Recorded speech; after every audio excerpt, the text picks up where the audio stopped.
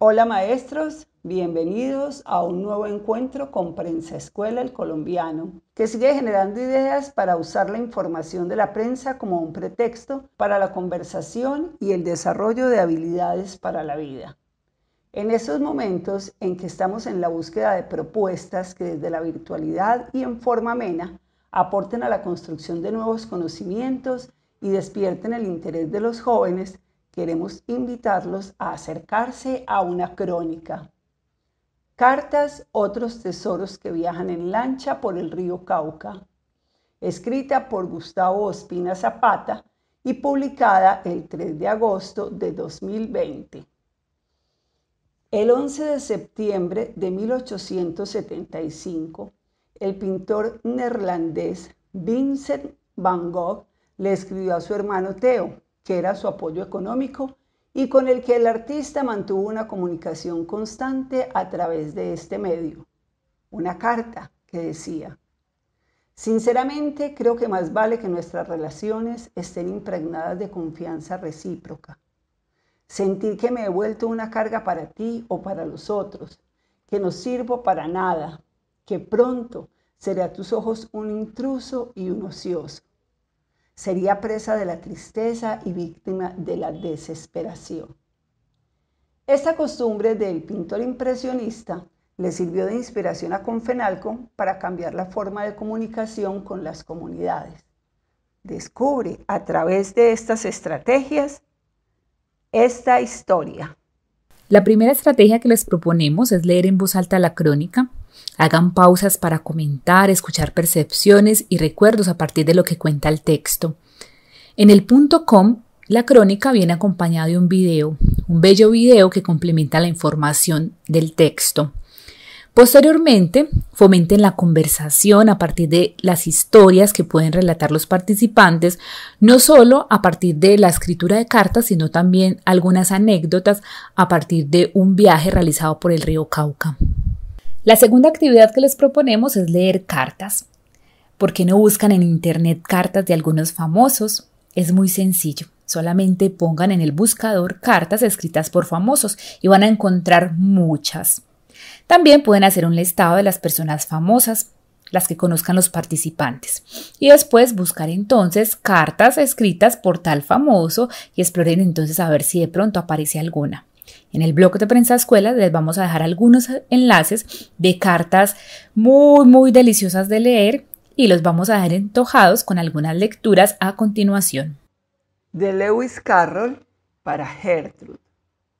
Mi queridísima Gertrude, te sentirás apenada y sorprendida y desconcertada de oír la extraña enfermedad que me aqueja desde que te fuiste. Llamé al doctor y le dije, deme medicina, pues estoy cansado. Él me respondió, tonterías, usted no quiere medicina, vaya a la cama. A lo que le repliqué, no, no es ese tipo de cansancio que quiere cama, estoy cansado en la cara. Él me dijo, ¿cree que sean los labios? Por supuesto, dije, eso es exactamente lo que tengo.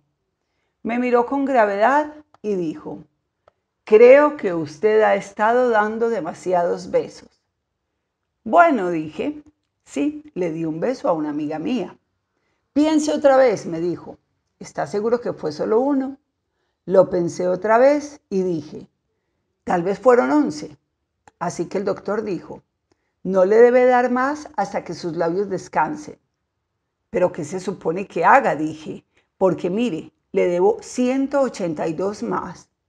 Me miró con tanta gravedad que las lágrimas se le escurrieron por las mejillas y dijo, podría enviarlos en una caja.